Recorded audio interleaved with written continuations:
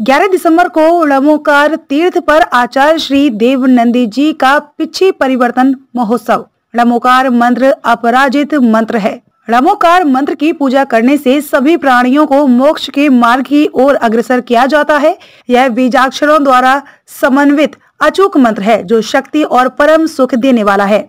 इस महामंत्र का परम पूज्य गणाचार्य 108 कुंथु सागर जी के शिष्य प्रज्ञा श्रमण सर्वोदयी राष्ट्रीय संत सरस्वताचार्य श्री 108 देव नंदी जी गुरुदेव पर गहन चिंतन के बाद लमोकार तीर्थ का निर्माण किया जा रहा है। इस तीर्थ पर लमोकार मंत्र पर एक विशेष शोध किया जाएगा। इस तीर्थ में पंच परमेष्टि अरिहंत सिद्ध आचार्य उपाध्याय और साधु परमेष्टि शामिल हैं, जो छवि के साथ उनके गुणों का सही प्रतिनिधित्व करते हैं।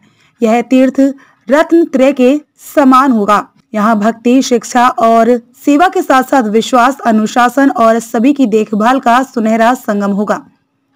परम पूज आचार्य श्री द्वारा रमोकार तीर्थ के इस शुभ संकल्प के बारे में लंबे विचार को अंतिम रूप दिया गया है और अतिशय क्षेत्र रमोकार तीर्थ जी में शुरू किया गया है और नासिक धुले रोड, मुंबई, दिल्ली राष्ट्रीय राजमार्ग संख्या तीन पर चांदवड़ के पास 40 एकड़ की विशाल भूमि को एक परम तीर्थ के लिए चुना गया है।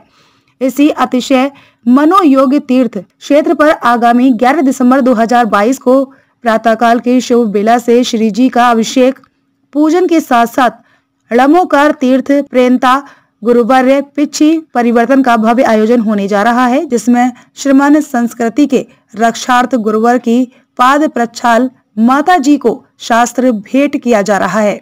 ब्रह्मचारी वैशाली दीदी एवं तीर्थ क्षेत्र के अध्यक्ष नीलम जी अजमेरा ने देश के सभी प्रांतों में निवासी गुरुदेव के शिष्य व श्रावक श्राविकाओं से ऐतिहासिक भव्य आयोजन में पधारकर पुण्य लाभ लेने का आह्वान किया।